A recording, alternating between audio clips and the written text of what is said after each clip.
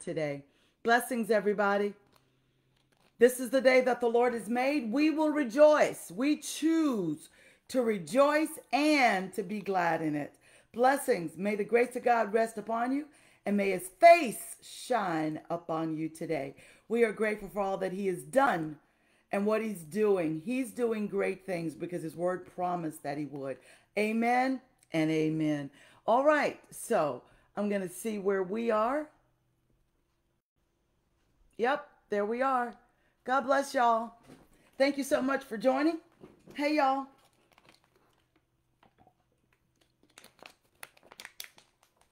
Let's get started. So, good morning, everybody. Good morning. So let's get started. Today we're looking at uh, First Samuel. I'm sorry, Second Samuel chapter 22. We're going to go there. I am just so grateful for what God has promised in his word. Listen, God has promised to fulfill his word. He's pro- his word does not the scripture says, "Hey Amber, the word of God says that God's uh his word does not return to him void." Hey morning. Good morning Pastor Brent, Sister Linda uh, doesn't return to him void. What does that mean? He does. It's not unprofitable. It actually, uh, it's like voiding a transaction like it never happened. God's word happens, and God's word is working even now. But it's only working for those who actually believe what His word says, who actually will stand on His word, who will speak His word unashamedly. Let's get started because I got a lot to cover. So, Yes. Right. Today is the 30th. All right. Listen, August is almost over. We're ready to go into September, and we're expecting great things this last four months of this year. We got things to do. Listen, if you haven't done everything you needed to do, you need to uh, look at the fact you got September, October, November, December, four months to accomplish some of those things. Get on the on an agenda, get a, a, a schedule set, and get done the things God has put in your heart for 2022. I know He's giving you visions for 2023 and what you're going to do and how you're going to do it. Listen, this is the time to go ahead and, and say, Lord, I'm going to seek your face.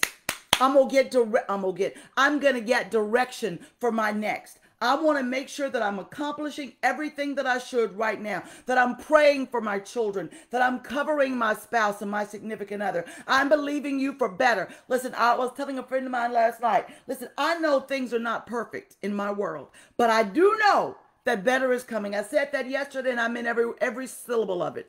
Better is coming. Change is going to come. Now, when we were growing up, Mother uh, Irma, we prayed, played hide and seek. And at the end, when they finished counting, they said, Ready or not, here I come. And they would go looking. But listen, ready or not, 2023 is coming.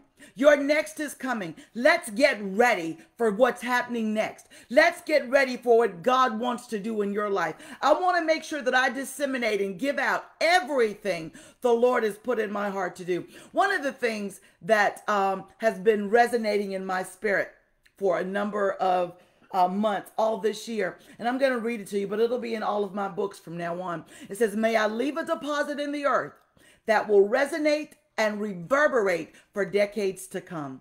That's what we should want is to leave an impact in our lives uh, for from our lives so that God will get glory and somebody can follow behind. Good morning, missionary Quinn. We should want someone to be able to follow behind what God has done for us. I want to make it easier for other women in ministry. I want to make it easier for other sons and daughters who want to um, do things for the kingdom of God, that they know how to do it in excellence. Because we can't offer God just any old thing, right? Let me get to my lesson. All right, First Samuel, Second Samuel, chapter 22. We looked at verses 1 and 2 yesterday, but I'm going to read them again because I'm looking at verses 1 through 3. And David spake unto the Lord the words of this song in the day that the Lord had delivered him out of the hand of all his enemies and out of the hand of Saul. Verse 2. And he said, Lord, he said, and he said, The Lord is my rock and my fortress We talked about a fortress uh, when we talked about, I think it was Psalm 91, probably a couple years back. A fortress was a fortified place that the enemy could not enter because you had everything you needed inside the fortress. You had the army, you had your food, your ability to feed and cover and protect yourself inside a fortified place, a stronghold, and my deliverer. David was testifying, This is who God is to me. He's my rock, He's my fortress, and my deliverer. And then in verse 3, the God of my rock, in Him will I trust. God had proven himself to be a rock, to be a fortress, to be a deliverer for David. He says, In him will I trust. He is my shield and the horn of my salvation, my high tower, my refuge, my savior. Thou savest me from violence. Let's stop there. I want to look at some support scriptures so that you'll understand uh, when David and why David. We understand that Saul had been pursuing David and he wanted to kill David. The jealousy sprang up after Saul, Samuel, after Samuel, after um, David had killed Goliath. Remember? Hey, Sister Regina. Um, he, after uh, David killed Goliath, Saul became jealous. And this evil spirit sent from the devil would trouble him so that he could not sleep. And so David, the sweet psalmist of Israel, could come and play and calm Saul down and that evil spirit would flee. Listen, let me do an insert right here. That says to us that music makes a difference. What you listen to impacts your ability to be at peace and to see. So when David played, the evil spirit left. David, and we have to remind ourselves as believers, we can't listen to any and everything because it impacts our perspective. It impacts how we feel. You wonder why you always agitated. It may be that you're listening to the wrong things. Okay. So, looking at First Samuel, verse 2 says, The God of my rock, in him will I trust. He is my shield, the horn of my salvation, my high tower, my refuge, my savior. You save me from violence. Here, 1 Samuel verse chapter 23 verses 14, 15 and 28 says, "And David abode in the wilderness in strongholds and remained in a mountain in the wilderness of Ziph. And Saul sought him every day, but God delivered him not into his hands." Understand this. Sometimes we're looking for God to right, Sister Glenda. We're looking for God to do something um, what we would call supernatural. We don't believe God just what God did here was God just hid David. He provided for him in the mountain. He may not have had what he could have gotten at the uh, king's table, but he had what he needed to sustain him. God provided for him while he was in the wilderness, while he was in a mountain in the wilderness. We must remember that God will order our steps. Sometimes you don't even know. You don't even know what God has preserved you from until way later. You don't even know what door God closed to keep you from harm until way later. Sometimes in your life, if you think about it, and ponder about where you came from, you can get happy right there because you know God delivered you. Good morning there, Pastor Denise. God delivered you. God made a way for you. You didn't even know you were in danger, but He rescued you. Song, you have rescued my life. You have rescued my life. And I'm never going back. My response is I can't sing that well this morning, but listen, I need you to understand. He rescued your life. He kept you out of dangerous situations, as the old folks say, seen and unseen. Thank you, Jesus. He shut doors that I didn't need to walk in. It looked like a good door. It looked like the right door. It looked like it was going to be a blessing. It looked good. It looked delicious. It looked appetizing. It was attractive, but it wasn't my door. Though someone was beckoning me to come through that door, God shut it down.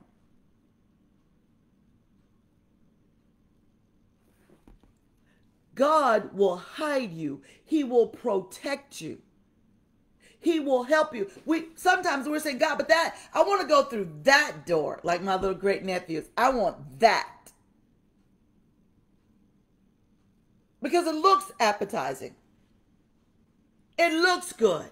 But we must trust that God knows what's best for us. The scripture tells us, and this we know. I got to hurry because I got to get to my point. And this we know that all things work together for good to those who love the Lord and are called according to his purpose, to his plan, to his will. That's us. Let me read on. You're going to get it.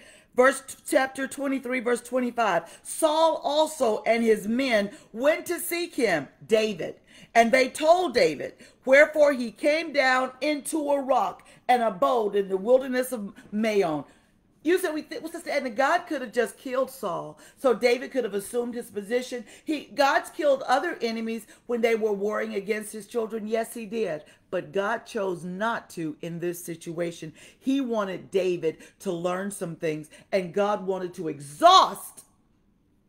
Exactly, missionary Quinn. He watched for me when I couldn't watch out for myself. My Lord. Yes, he did. He hid me in the rock. Some things, I'll be honest, some things I didn't I, I miss. And uh, I we were a friend and we were we were at a place and someone was I, I, guess they were trying to make a pass and my friend told me later that the guy and I said was he really I just totally missed it just told I missed all of it. It's good to miss some things. It's good not to be aware. It's God protecting you. What you need to know, we need to rest assured He'll bring it to us. He'll help us to catch it. Next one. Verse 26. And Saul went on this side of the mountain, and David and his men on that side of the mountain. What was God doing? Protecting David, showing himself as his shield. To see a shield isn't always you standing there fighting against it. It is God directing you, ordering your steps. Verse 27 tells us while Saul was out pursuing David, God allowed the adversary of Saul to go in and invade the land. The Philistines had invaded the land. So Saul had to stop pursuing David and go home and handle his business as king. Let me get to verse 28. Oh, I'm going to run out of time, but I'm going to get to my statement I want to make to you.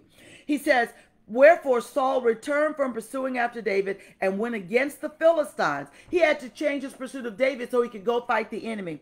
Therefore, because David wasn't his real enemy, the throne already belonged to David. It was just not the right timing. Let me get there.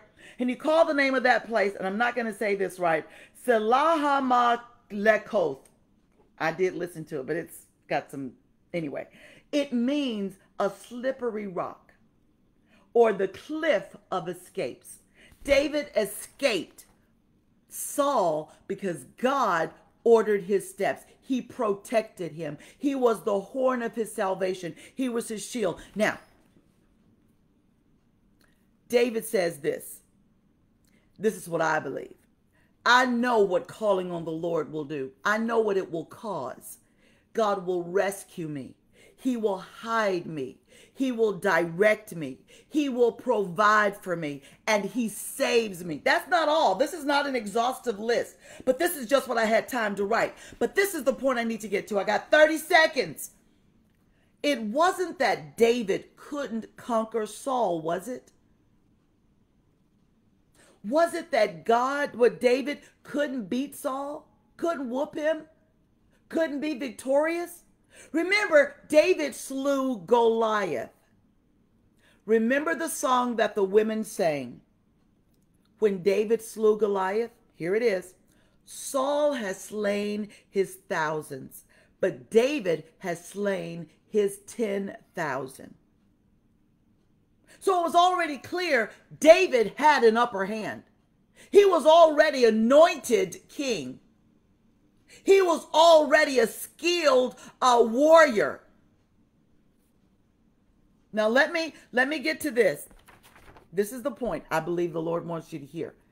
Just because you can win doesn't mean you should engage the adversary. Just because you can get the victory does not mean that you can, you should engage the adversary. Right, Roberta Ingram? He sure did. And that was because God, he knew that he was, Saul was God's anointed no matter what he did. And sometimes we're too quick to put our hands on people and our mouths on people because God, because of what they do. They're still God's anointed. They may cut the fool. Let me read on. When your time to occupy the throne or the high seat or become the CEO, you need to wait and move in God's timing. God chose to hide David rather than just to kill Saul instantaneously to place David on the throne just because you know you can get the victory, just because you know you can uh, uh, have the last word, just because you know that you can uh, do a bait and switch, doesn't mean that you should. We need to move in God's timing. Right. God has a way. Just because you know you can fix it doesn't mean that you need to. Just because you know that you have the upper hand, you need to wait to know when to show your hand. That's wisdom. Now I'm done. Let's pray, people who love Jesus. Father, we thank you for your word. Teach us how to number our days, guide our feet, guide our hearts, Give us wisdom to know what to do, when to do, how to do. Don't let us be afraid that we're going to miss something. Help us to pray and get your direction. We don't want to move if you're not in it. We don't want to get involved if you're not in it. Lord, we know that you can stay the hand of the enemy, that you will be our shield and our protector. You will be our fortress and our deliverer. But God, we don't want to move outside of your timing. And just because we know we get the we have the victory doesn't mean we need to go and decimate the adversary. Help us to know when to do and what to do and how to do it. Teach our hands to war so that a bow of steel is broken by our fingers. Help us to walk humbly before you. And we know that your word says, You will make our enemies our footstools. We trust you. Help us to keep our eyes on you and not on people and stuff. And you said in your word that if we humble ourselves, you would exalt us in due time. We trust you. For better is coming and our greater is next. Cover our sons and our daughters, cover our grandchildren, our children, our loved ones. Let your hand be upon them. Protect them from the devices of the adversary, from bullies at school. Protect them. Give them protection. Protect them in the name of Jesus. We thank you now that your hand is upon us for good. Let your glory be revealed in our lives and your anointing break and destroy every yoke. In the name of Jesus, so it is. Amen. All right, my time is gone. I pray the word of God's blessed you. If it has, would you please share the video? Type in catch the replay, hashtag graced for today. All right. I think that's all I have. I need to get that part out to you. That's what I did. I've discharged my duty. All right, so don't forget about YouTube. It's available. This video will be uploaded to YouTube in about 10 minutes, and you can share that with somebody. Um, thank you all for subscribing to YouTube, for following Graced for Today here on Facebook. Click the notifications so that you can get that. Hey, I saw that we had over 10,000, uh, 10,000, speak it so, over a thousand followers. Thank God for that, and thank you for being one of them. All right, hope that you will join me in the morning. Don't forget about my book on Amazon, 30 Lessons on Unapologetic Living. All right, my new book is coming out soon. I haven't finished it, but it'll be finished before the end of this year because I got I got vision, I got plan. Yes, I do, and the Lord is helping me to accomplish His will. All right, so listen, I'm done for real this time. Join me in the morning at 7:15 a.m. Central Time. Until then, remember this. Time spent in the word of God is never wasted, and you have been graced for today. Have a great day everybody. Peace.